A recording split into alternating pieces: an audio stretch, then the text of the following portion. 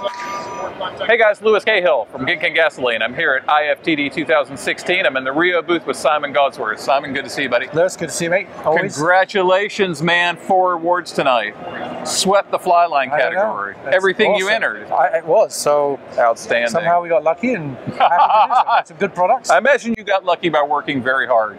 The team worked really hard. we have a great team. You know that. that yes. I do, and that's awesome. Well rewarded. Very happy. So one of the cool things that you won for that I'm kind of excited about is the winter redfish line. Yeah. I do some red some red fishing down in Louisiana in the winter. It is brutally cold. Yep. You freeze down there, and your line is always a problem. So tell us what you've done here to make this guy work. This is actually a really cool line. I mean, the, the best part about this line was that we got to spend a whole week testing it. nice. yeah, that's awesome. terrible. Yeah. Went down there in December last year, as cold as it could be. Wanted to have it in the coolest conditions. And you know, that winter red, you got some big bulls. Yep. Hopefully, targeting big bulls. Um, and you're fishing some large flies. Yep. You got some murky water. There's a lot of real close range casting because you're not seeing fish because the murky water, the grey mm-hmm. sky. And so, one of the first objectives of the line is to make sure it loads up at real short range. So you can make a cast at 10 feet because that's the first time you see that big bull. Uh, or you can make a shot, a shot at 25 feet because you can actually see some of suns come out. So that's the first thing about it. It's got a very powerful, aggressive head that loads up at short range. Um, and the second thing is we're throwing some large flies. I was trying to fish some poppers down there, but they weren't really working. The fish were just turned off that. We were fishing some large mullet patterns and baitfish patterns, and so you needed big flies. Those things are a challenge to throw. So they're hard to throw. Yeah, so we shoved yeah. a whole pile of weight at the front end, and, and in, in the answer of throwing a big fly.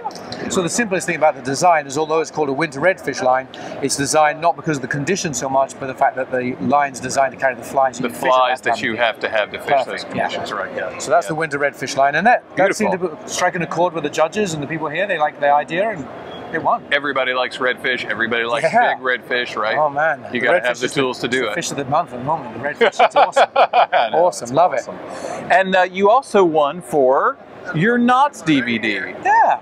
How about That's that? awesome. I, I, mean, I've watched these, and I assume now that these are the same videos that I have seen. Yes. Yes. Absolutely. And they're amalgamation. They are phenomenal. You do such Thank a great. You. you. do most of these. You do all these personally. Zach and I do them. Zach uh, and you do them. Uh, yeah. We do probably 50-50. Maybe I do a couple more than Zach. But, right on. Uh, so yeah, they're, they're, they're, the videos we have on our YouTube and Vimeo channels, and we had so many people email and say, "I love the videos and, and those short things, and, and, can we buy it? Can we get it as a, as a one right. set?" So yeah, keep it in your library, hey, give it as a gift. Great give gift item. Gift. Yep, it's twenty bucks for, a, and there's 29 knots on there. 29 knots. Yep. So you got all the knots that you can ever imagine fly fishing. I don't think I can name knot. 29 knots. No, I couldn't. I did a lot of research to get the knots on that.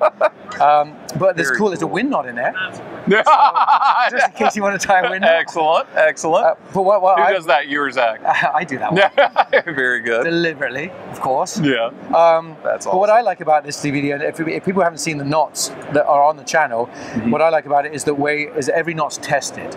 You know, right. in a lab with exactly the same material, so mm-hmm. you can see how strong that knot is. Exactly. So you think that knot's 100% because a lot of people say oh, this is a 100% knot. Mm-hmm. Well, it's not.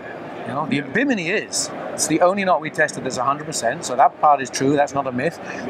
But other knots break at 90%, 92%, 80%, 70%, 60%. The wind knot was breaking at 45%, so it shows how bad a wind knot is. So right, it's pretty yeah. cool. Even that part's pretty cool to watch. So that's that one of the things I like about it is they're not just quick in and out videos of here's how you tie the knot. You guys really go in depth in it. Yeah. And you talk about it and you show some technique. And it, yeah. it's really helpful, especially for beginning anglers.